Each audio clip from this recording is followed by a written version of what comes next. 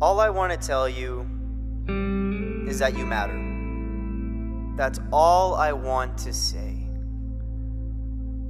Because you think with with the, how connected we are in society and how we can have a huge spectrum where people think others are more valuable than they are. You think people who are famous are more valuable than you. But guess what?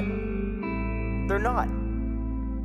They're not. Everybody holds something so unique. The DNA that is in your very body will not be replicated the same ever again. You are 100% unique. And this tells me something. This tells me that you have something unique to offer the world.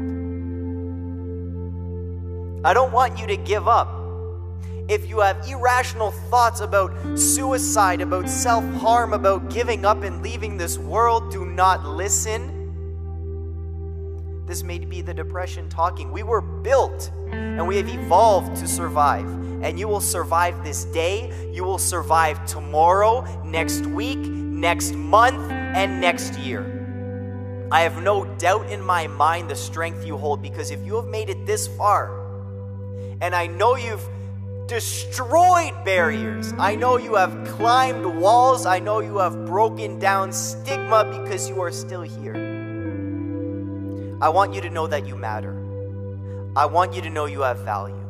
It doesn't matter where you lie on the spectrum, everybody holds the same value.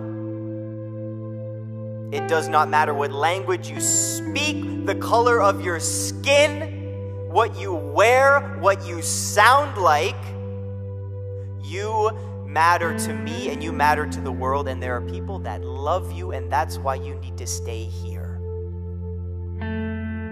That's why life is worth fighting for because you can make a difference. If you make a difference in one person's life throughout your whole lifetime, and you just impact the world positively once,